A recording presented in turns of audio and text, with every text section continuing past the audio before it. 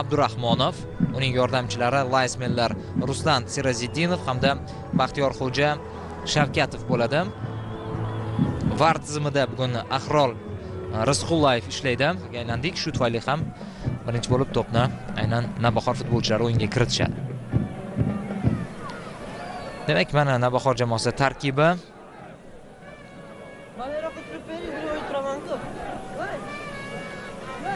Taktik sxema albatta biroz boshqacharoq bo'lishi mumkin. O'yinda murabbiylar o'z futbolchilaridan boshqacha tarzda ya'ni ularning boshqa funksiyalaridan foydalanib ularning pozitsiyasini biroz o'zgartirishlari soat millari o'n to'qqiz nol nolni ko'rsatmoqda va aynan mana shu vaqtda uchrashuvga start berildi. Demak qadrli do'stlar tarkiblar bilan tanishib olamiz. Navbahor birdaniga hujum boshlab yubordi. Birinchi urinishning o'zidayoq to'p jarima maydoni ichigacha olib kirildi lekin zarba ko'rganimiz yo'q. Navbahorga g'alaba olib keldi. O mana bu yerdachi jiyanov zarba bera olmayapti qulay vaziyat. Ha yo'q bilasizmi lekin e, bahslashib ko'rsa bo'lar ekan chiziq tortib. Boyagi rakursdan xuddi yaqqol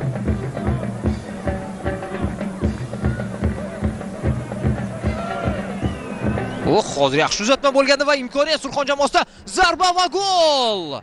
Hisob ochilmoqda. Surxon o'zining birinchi deyarli urinishida unumli foydalanib qolyapti sunnatulloh hamidjonov bir o'zi qarang hech qanday bir bosim ostida emasdi futbolchilarni ko'ryapmiz va sunnatulloh hamidjonov ham xuddi mana shunday uslubda golni nishonladi. Endi e, belingem desak lekin hozir faqat belingem emas deyarli barcha futbolchilar mashhur futbolchilar shunday uslubda golni nishonlashmoqda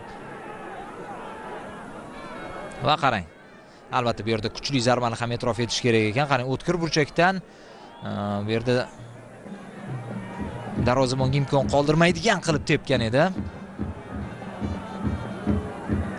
Mana olmadi. Shuning uchun ham muxlislar dastlabki sovrinni anchadan beri kutishmoqda hozir yaxshi hozir to'pni o'ziga bo'ysundirdi bu jiyanov edi adashmasam va ajoyib zarba yo'q jiyanov o'ng qanotda o'ynayapti o'ynashyapti boya o'ng qanotda biz haq nazariyni ko'rayotgandik bu safar esa u chap qanotdan turib zarba berdi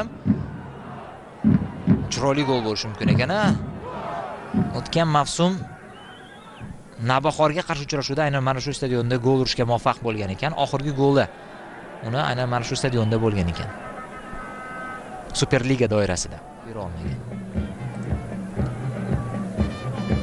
yana haq nazariydan qoidabuzarlik. O'zi zarba berdi o'tkir burchakdan va qarang qanday gol?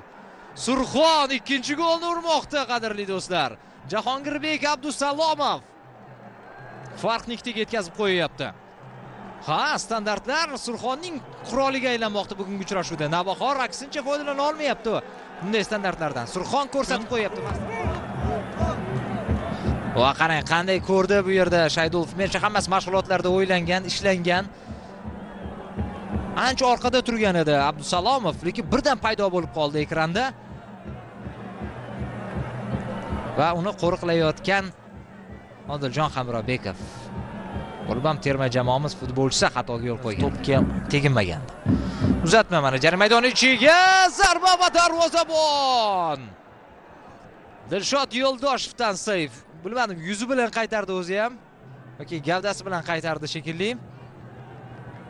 Filip ivanovich zo'r pozitsiyada turgan edi. To'p kutilmaganda e, yetib keldi unga. Sovg'adek bo'ldi o'zi ham. Hakamlar e, aralashishlari mumkin. Yana bir hujum. Xo'sh mana imkoniyat zarba va biroz aniqlik yetishmadi. Jiyanov.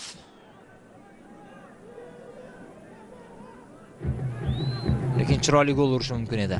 Jiyanov.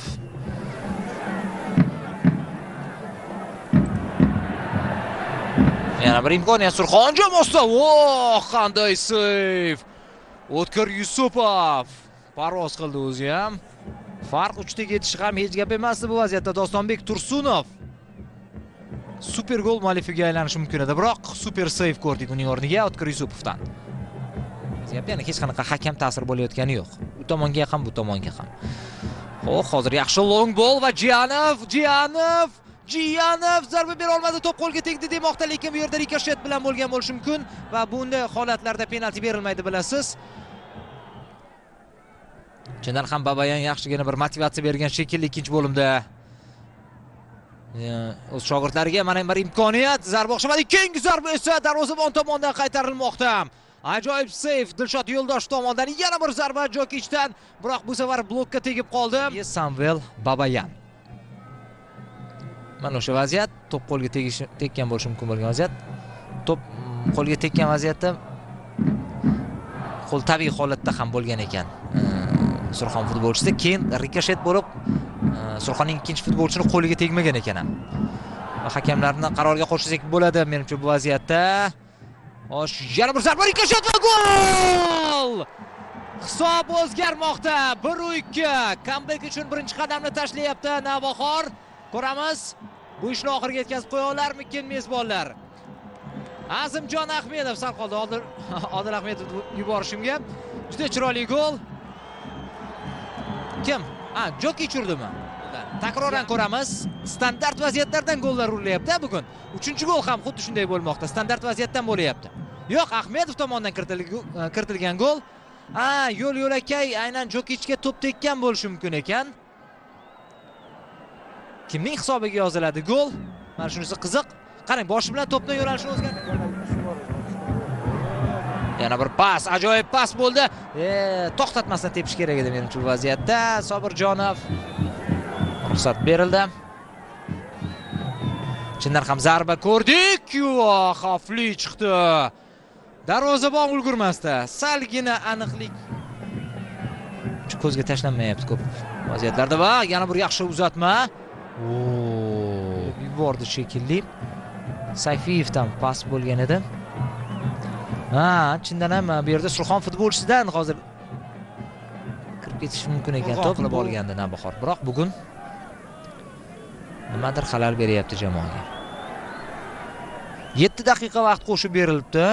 Bu yana bir qo'shimcha imkoniyat mezbonlar uchun. Sobirjonov to'p qaytib keldi rikoshet holatida. Sobirjonov. Yaxshi kombinatsiya hozir mana imkoniyat. Pas! Va oh zarbani qarang shunday chiroyli kombinatsiyani jokich oxirida havoga uchirdi. To'p bilan qo'shib. Endi bir chiroyli kombinatsiya ko'rdik degandik.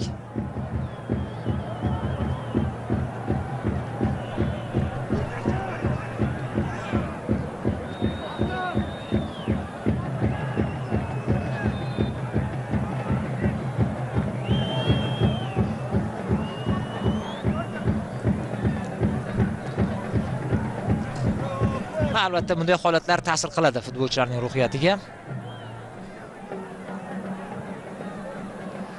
Surxon o'zi o'tgan mavsum uy va safar tizimlarida deyarli bir xil ochko to'plaganda safarda ham yaxshi o'ynaydi jamoa. U hozir yana bir imkoniyat. Qoshimovda sal uzatma noqulayroq bo'lib qoldi lekin himoyachini aldadi va zarba berdi o'tkir burchakdan.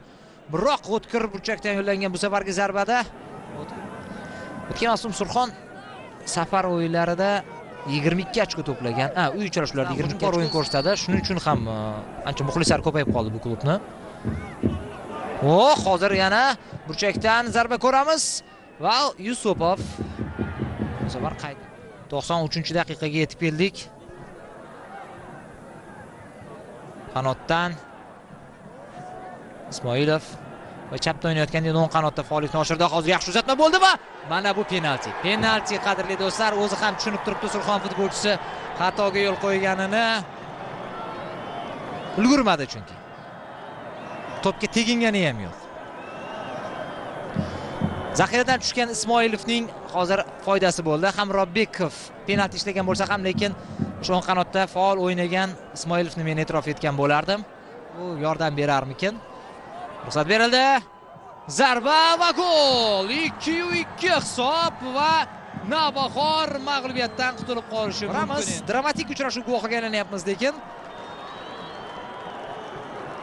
anchagina murakkab e, zarba. Qarang burchakka va e, va bu so'nggi hujum bo'ladi. Balki oh hamrobekov lekin to'pni saqlab qoldi hali ham ismoilov va yaxshi uzatma zarba. Voh sal qoldi hozir toma tabatadze g'alaba goliga mualliflik qilishiga darvozabon dilshod yo'ldoshev